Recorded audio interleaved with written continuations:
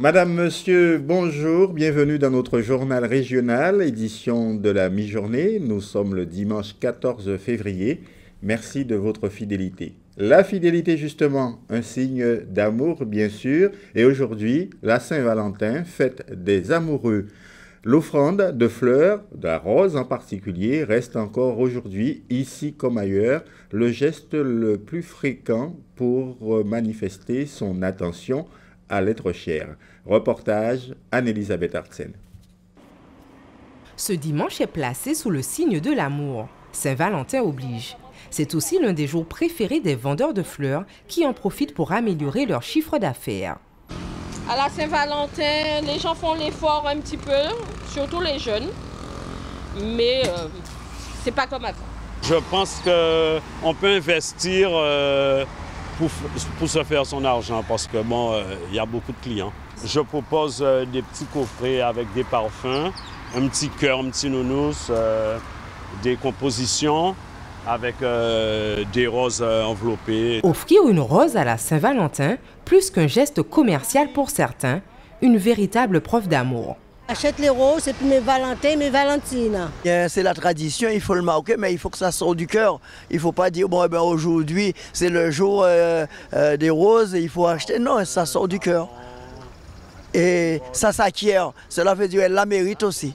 Écoutez, parce que c'est la Saint-Valentin tout simplement. Même si on dit que c'est commercial, peu importe. Si on ne fait pas le geste, de toute façon. Mais c'est naturel. Il faut une rose, même si on dit que c'est tous les jours que, que sont, hein, qu'on doit acheter des roses. Mais bon, euh, particulièrement aujourd'hui. parce qu'il y a vraiment pile l'amour. C'est-à-dire que madame là, il méritait l'amour. Il méritait ça. Aujourd'hui, c'est joie même. Obligé, ben, ça mérité. Toute madame. La fête des amoureux a encore de beaux jours devant elle. Entre échange de mots doux et cadeaux, c'est l'occasion idéale pour certains de prouver leur amour avec des fleurs. Et puis nous sommes entrés, vous le savez, depuis la fin du carnaval, le mercredi décembre, dans la période du carême. Le carême, généralement considéré comme une période de privation, de viande en particulier, et de jeûne. Mais au-delà de cette observation et de ces pratiques ancestrales, dirons-nous, quel est le sens profond du carême? Élément de réponse avec Jacques Damprobe. Nous sommes à la chapelle Notre-Dame de Grâce. Cette année encore, le Père Jean Amour par le carême, pour lui-même et les fidèles. Le carême, période de jeûne et d'abstinence de 40 jours qui doit mener les catholiques à Pâques et à la résurrection du Christ. C'est une période importante, une période probatoire. On voit dans la Bible, par exemple, que pendant 40 ans, le peuple de Dieu a traîné à travers le désert. On voit dans la Bible que pendant 40 jours, Jésus est resté donc euh, il est allé au désert pour, euh, jeûner. Et donc, 40, ça veut dire un temps qu'on ne peut pas tout à fait délimiter, mais à la fin de ce temps, il se passe quelque chose de très important. 40 ans après, le peuple de Dieu fait alliance avec Yahvé sur au Sinaï. Et 40 jours après, mais Jésus va commencer sa mission. Il y a eu aussi le déluge et tout le reste. Mais l'important, c'est de se dire, il va se passer quelque chose d'important, donc préparons-nous à cette fête importante. Voilà le, tout le sens du carême. Mais l'Église propose aussi que pendant ce temps de carême, on fasse un retour sur soi. L'Église propose la conversion, qu'on change le cœur, la pénitence. Tout ça, c'est pénitence, libération, c'est la même chose. Et donc, euh, pour aider les chrétiens, le carême euh, commence par euh, un, un symbolisme très fort qui est le symbolisme des cendres. Les cendres dans la Bible, se couvrir de cendres, ça veut dire d'une part reconnaître sa fragilité, reconnaître son péché, mais aussi, vous savez, sous la cendre, il peut y avoir une petite braise qui. Et alors, euh, c'est aussi montrer que on espère en Dieu, on a confiance en lui, en confiance en sa miséricorde. Donc, au début du carême, on va reconnaître un petit peu qu'on est pécheur. Pendant le carême, l'Église catholique propose à ses ouailles la prière, le jeûne et le partage. Un triptyque qui prend tout son sens en cette année de jubilé de la miséricorde. La prière permet de renforcer le jeûne. Le jeûne, c'est s'abstenir. Hein. Et donc, euh, c'est pas jeûner pour jeûner. Mais ce dont on se prive, on va le donner à ceux qui n'ont pas. Donc, c'est une forme aussi de partage. Donc, les trois sont liés la prière, le jeûne et le partage. Voilà. En plus, il y a tous les exercices de piété, il y a les invitations aussi à, des conférences, euh, à des, réflexions, mais il y a surtout un appel à la conversion, c'est-à-dire à la réconciliation, le sacrement de la réconciliation, reconnaître qu'on est pécheur et puis aller euh, tout petit devant Dieu, euh, le montrer et puis recevoir le pardon de Dieu. Si les catholiques entrent en carême, en ces temps d'affrontement, croyant ou non, chacun devrait mettre à profit cette période pour faire un peu la paix avec lui-même et plus encore avec les autres. Un mot de tourisme maintenant avec la Pointe des Châteaux qui, comme chaque année, est l'un de nos sites naturels les plus visités par les touristes. C'est en quelque sorte un baromètre des saisons touristiques en Guadeloupe. À en croire les vendeurs de toutes sortes placés sur le site, cette saison 2015-2016 est plutôt chaude et ils s'en frottent les mains. Muriel Barlagne. La Pointe des Châteaux, l'un des sites les plus visités en Guadeloupe sa vue, ses curiosités, ses visiteurs. Il y a les Guadeloupéens, mais surtout les touristes, à la recherche d'authenticité, de saveurs et de senteurs du pays, mais aussi de souvenirs. Sur place, une dizaine de commerçants répondent à la demande. Anne vend des articles de plage, des bijoux et des objets décoratifs fabriqués avec du sable de Guadeloupe. Cela fait deux ans qu'elle vient travailler pratiquement tous les jours. Depuis mi-janvier 2016, elle constate une forte fréquentation du lieu. Pour son affaire, c'est une véritable aubaine. Bah, c'est une très bonne saison. Euh, on a beaucoup de touristes, des touristes qui viennent de partout, qui viennent de toute l'Europe, qui viennent aussi du Canada, des États-Unis. Donc euh, c'est très agréable. Cette vacancière est française, mais arrive des États-Unis. Pour elle, les achats font partie du voyage. Aujourd'hui, elle se laisse tenter par un objet décoratif. Il faut absolument qu'on ramène toujours quelque chose et en plus local. Euh, donc euh, oh, c'était très intéressant de savoir que c'était avec euh, cette petite grenouille était faite avec deux sables différents, donc de la Guadeloupe. Et ça, ça m'intéressait énormément. Juste à côté, Alain vend des glaces locales, des snowballs et du sorbet au coco. Cet après-midi, il a mis un vacancier à contribution. On part ce soir, avec regret. C'est notre dernier sorbet coco, si je faut. Comme Anne, il n'a pas de chiffres à communiquer sur son activité, mais ce dont il est certain, c'est qu'il s'en sort et que cette expérience est enrichissante. C'est hyper enrichissant, vous ne pouvez pas vous imaginer à quel point de rencontrer des gens qui viennent de partout, d'apprendre quelque chose de nouveau tous les jours, ou d'apporter quelque chose de nouveau régulièrement aux gens de passage qui ne savent pas exactement ce qu'on fait sur cette île. Non, non, c'est un, un boulot hyper, hyper enrichissant. Comme je le dis très souvent à nos chers visiteurs, ceci est mon bureau. Donc voilà, je suis envié d'avoir un bureau aussi magnifique au paradis.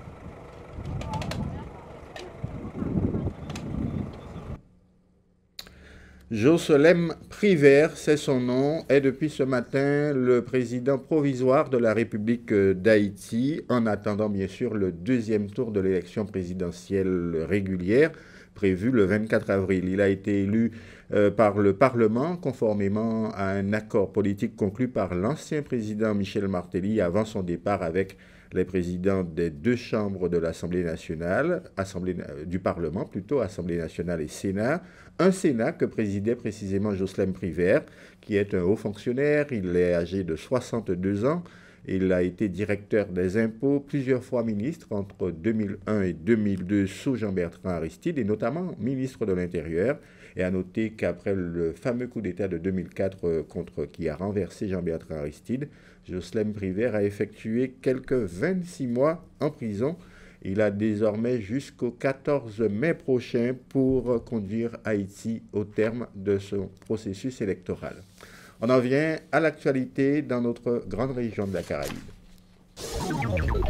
Venezuela, Maduro face à la famine. Le Parlement vénézuélien, désormais contrôlé par l'opposition, a appelé le gouvernement du président socialiste Nicolas Maduro à demander une aide humanitaire internationale afin d'éviter la famine liée à la grave pénurie alimentaire dont souffre le pays. Le pays sud-américain, autrefois un riche producteur pétrolier, grâce à ses immenses réserves de brut, les plus importantes au monde, est plongé dans une grave crise économique avec la chute des cours du pétrole. Au quotidien, celle-ci se traduit par une pénurie touchant des produits basiques comme le café, l'huile ou les couches pour bébés, obligeant les habitants à faire la queue pendant des heures d'un supermarché à l'autre pour pouvoir se fournir. Le Parlement invite aussi le gouvernement à faire appel à l'ONU pour l'alimentation et l'agriculture pour qu'elle envoie une commission au Venezuela afin d'évaluer les risques pour la santé alimentaire. Grenadine poisson mutant. C'est une étrange créature qui a été découverte sur une petite île de l'archipel des Grenadines. Une sorte de poisson mutant a été pêché. Il possède à la fois des pieds lui permettant de marcher dans les fonds marins, un nez parfaitement humain et des écailles semblables à celles d'un poisson. L'animal a été capturé dans le port de Windward sur Kariakou, une île des Grenadines. Quelques personnes ont eu peur et trouvé que ça ressemblait à une créature sortie tout droit d'un film de science-fiction effrayant. Hoff McLawrence, le pêcheur de 74 ans, reconnaît avoir été totalement déconcerté après avoir découvert la créature dans ses filets. Il a raconté à la presse locale avoir été énormément choqué car il ne pensait pas, à son âge, découvrir une créature pareille. Les experts eux-mêmes ont du mal à déterminer l'espèce du poisson mutant encore en cours d'expertise. Argentine, licenciement en masse. Ce sont 730 employés de l'entreprise espagnole Isolux qui viennent s'ajouter aux 1543 licenciements d'une entreprise de BTP et aux 300 emplois publics qui ont été supprimés en Argentine depuis la nomination du nouveau président Mauricio Macri. L'opposition déplore une chasse aux sorcières, en particulier dans les provinces encore acquises à l'ancienne présidente Kirchner. Selon un rapport de la Fondation Méditerranea fondé par un ancien ministre argentin de l'économie, la province de Santa Cruz a bénéficié entre 2003 et 2015 de dotations publiques disproportionnées par rapport à sa population. L'arrivée au pouvoir il y a deux mois de Maurizio Macri, opposant au Kirchner, a sonné le glace de cette politique généreuse vis-à-vis -vis de la province australe. Le nouveau gouvernement a rompu avec les politiques économiques mises en place par ses deux prédécesseurs, alors que la troisième économie d'Amérique latine est plombée par un déficit budgétaire estimé à 7%. Un mot de football maintenant avec la 15e journée du championnat de division d'honneur et l'USR plus que jamais leader du championnat. Les Saint-Rosiens hier soir à Petit Canal se sont imposés lors de la rencontre au sommet de cette journée face au CSM. Deux buts à zéro s'il vous plaît et ce à l'extérieur. Voici donc le tableau euh, de l'ensemble des résultats enregistrés au cours de cette 15e journée. 6 buts à 1 pour l'Amical Club de Marie-Galante face au CA Marquisa. Un but partout entre l'AOG et la Juventus de Sainte-Anne. L'Arsenal et la Gauloise en ont fait autant, un partout. Le Red Star a disposé de l'étoile, un but à 0 à Mornalo. Le Sirocco a été défait par le phare du canal 1-0. Match euh, riche en buts hier soir entre la solidarité scolaire et l'USBM de partout. Et je vous l'ai dit, l'USR s'est imposé à l'extérieur face au CSM 2 buts à 0. En sport toujours, notre jeune prodige du jet bras, Nicolas Olivin, déjà quatre fois champion du monde de la discipline, faut-il le rappeler. Il s'est imposé hier dans une épreuve à Abu Dhabi, une épreuve comptant pour le championnat du monde 2016, et il remporte cette épreuve pour la seconde année consécutive. On termine euh, ce journal avec euh, une découverte, ou la découverte d'une entreprise, et c'est une série sur. Nous ouvrons aujourd'hui les portes d'une confiserie à Sainte-Rose tenue par un couple depuis plus d'une décennie. Euh, Doucelette, sucre à coco et compagnie, confectionnés selon les méthodes grand-mère, mais avec le souci aujourd'hui de toucher un public plus large et plus moderne, dirons-nous. Karine Gelman.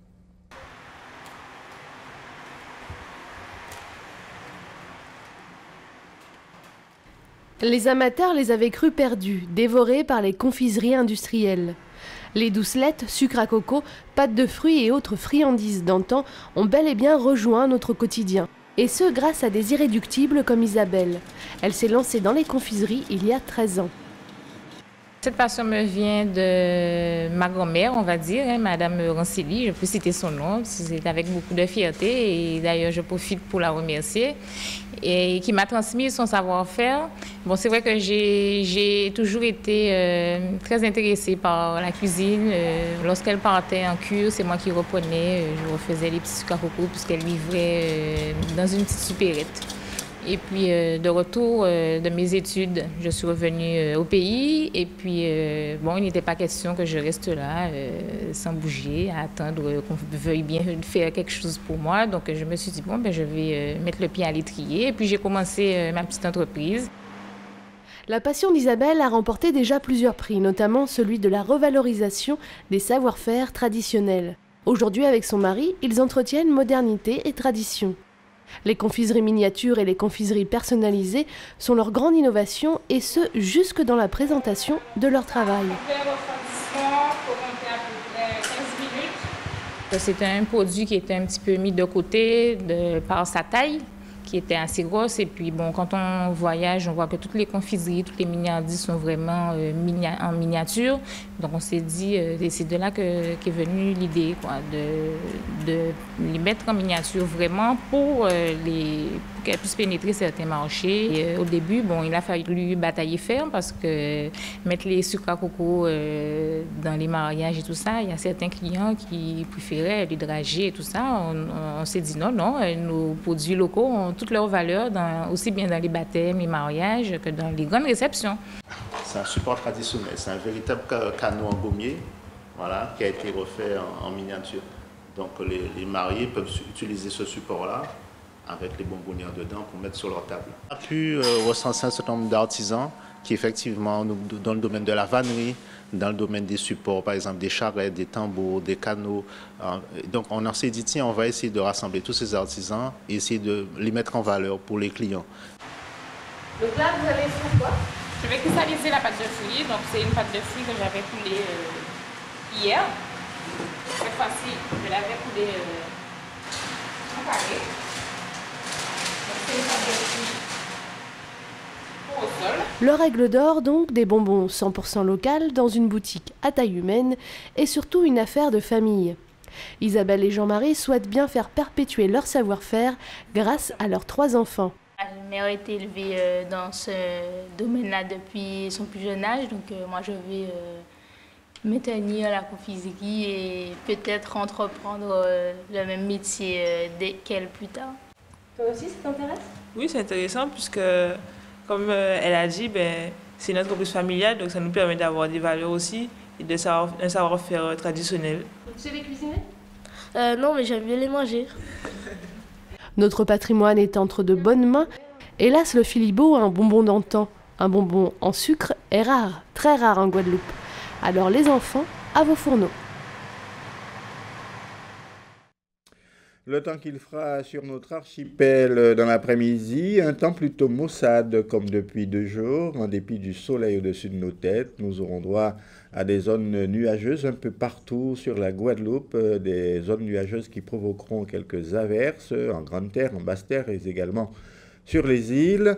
Les températures seront comprises entre 24 et 28 degrés.